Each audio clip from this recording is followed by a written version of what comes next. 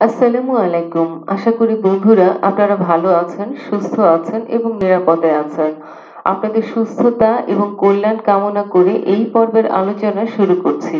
বন্ধুরা, আজকের আলোচ্য বিষয় খন্দকার শামসুদ্দিন মোহাম্মদ সিদ্দিকী।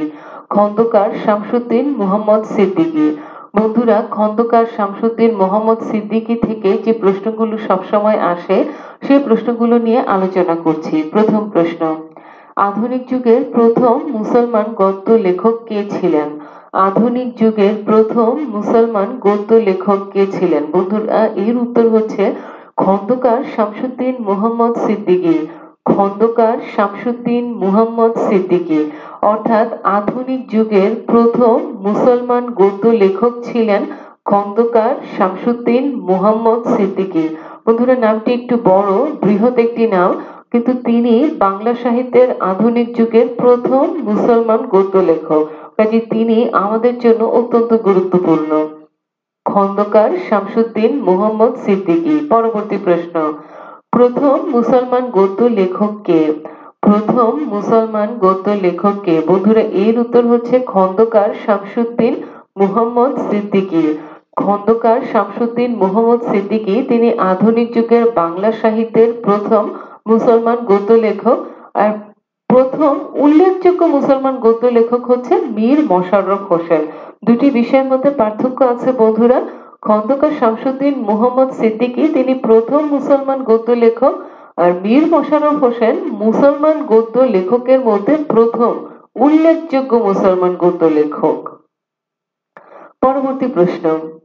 উনিশ শতকের প্রথম মুসলিম লেখক কে ছিলেন? উনিশ শতকের প্রথম মুসলিম লেখক কে ছিলেন? বন্ধুরা, এর উত্তর হচ্ছে খন্দকার শামসুদ্দিন মুহাম্মদ সিদ্দিকী।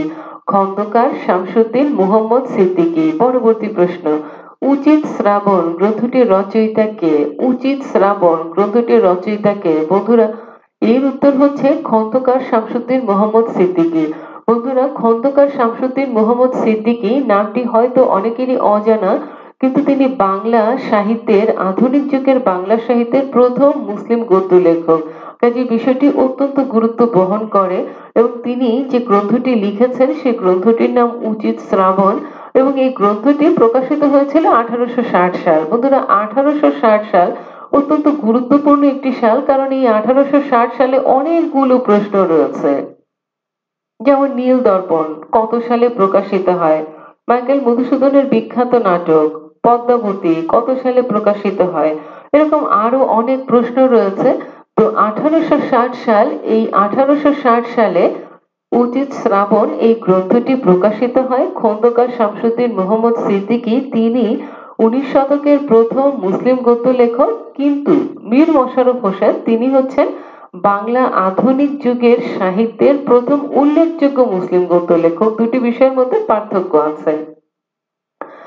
আশা করি বন্ধুরা এই পার্থক্যটি আপনাদের মনে থাকবে। আশা করি সবকিছুই মনে থাকবে।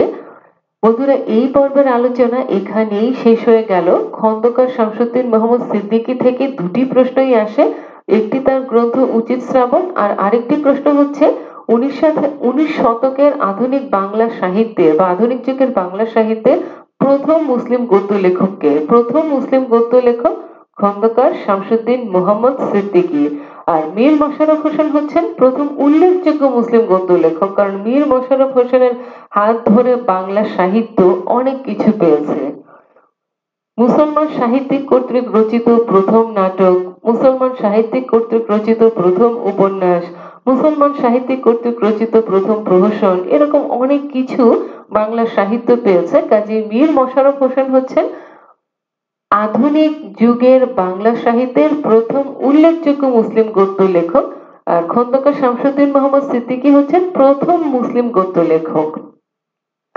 বন্ধুরা, এই পর্বের আলোচনা এখানেই শেষ হয়ে গেল। ইনশাল্লাহ এই আলোচনা আপনাদের প্রস্তুতিতে সহায়ক ভূমিকা পালন করবে।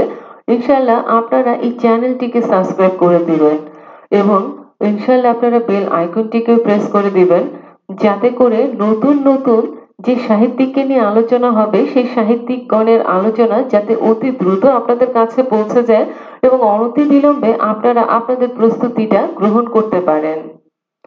বন্ধুরা, আবারও আপনাদের সুস্থতা কামনা করছি, আবারও আপনাদের কল্যাণ কামনা করছি, সর্বোপরি আপনাদের সফলতার জন্য দোয়া করছি। বন্ধুরা, সফলতা কিন্তু আত্মবিশ্বাস ছাড়া আর কিছুই নয়। বারবার করে আমি কথাটা বলি বলি এই জন্য যাতে আপনারা আত্মবিশ্বাসী হন। আপনার মনের মধ্যে লুকিয়ে থাকা শক্তিকে আপনি যেন জাগ্রত করতে পারেন। আপনার মধ্যে যে অফুরন্ত শক্তি আল্লাহ সুবাহতাল্লাহ দিয়ে রেখেছেন, তাকে আপনি চিনতে পারেন, তার সঙ্গে আপনার পরিচয় ঘটে এবং তার আপনি সঠিক প্রয়োগ ঘটাতে পারেন। কারণ আল্লাহ সুবাহতাল্লাহ কাউকেই অকারণে সৃষ্টি করেন নাই। প্রত্যেকের সৃষ্টির পেছনেই কিছু না কিছু মহৎ উদ্দেশ্য রয়েছে।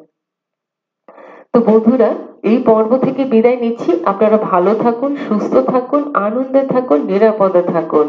আর আপনাদের জীবনে আপনাদের কাঙ্ক্ষিত সফলতা ধরা দিন আসসালামু আলাইকুম, আল্লাহ হাফিজ।